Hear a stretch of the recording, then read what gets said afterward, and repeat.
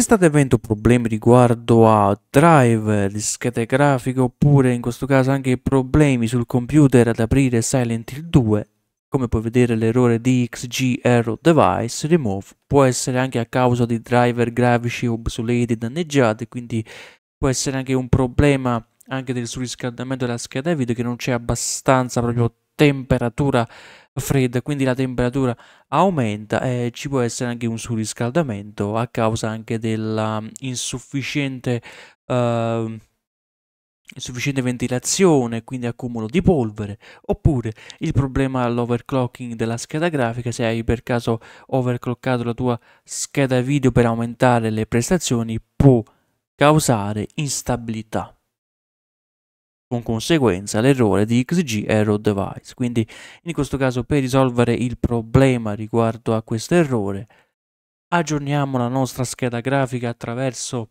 l'errore, quindi attraverso questa pagina qua che ti ho lasciato in descrizione. Vai direttamente a trovare il driver per la tua scheda grafica, quindi andremo a installare proprio un driver grafico sul tuo computer, quindi vai a prendere la tua scheda grafica, la mia GeForce serie 30, 30 e 70, Windows 11 e vado così a trovare la mia scheda video. Driver GeForce Game Ready per i giocatori e driver Nvidia Studio per chi usa il computer per lavorare. Se invece vuoi provare altre versioni vecchie, per esempio se ti sei trovato benissimo con le altre versioni vecchie, puoi scaricare e installare altre uh, gli altri driver grafici, quelli più vecchi, fino a marzo, quindi 5 marzo. Sono, sono fino al 5 marzo. Quindi scarica e installa così questo driver grafico. Se invece vuoi un'applicazione che puoi configurare così la grafica sui giochi e aggiornare sempre i driver, c'è l'applicazione Nvidia App Beta. Scarichi e installi così la versione beta. Ed eccola qua, Nvidia App. Vado su driver, cerco così i driver da da scaricare. L'ultimo che ho scaricato è del primo di ottobre. Una volta fatto, in descrizione ti ho lasciato anche un comando da inserire direttamente su crea così un nuovo documento, quindi andiamo a creare il documento di testo.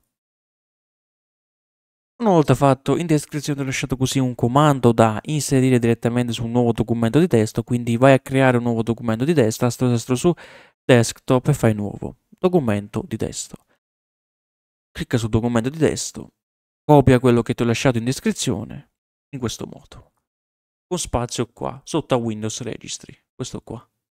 File, salva con nome, tutti i file, vai a scrivere fix.rec, desktop, salva, e ci clicchiamo sopra. Chiavi e valori contenuti. Inseriti nel registro di sistema e facciamo ok.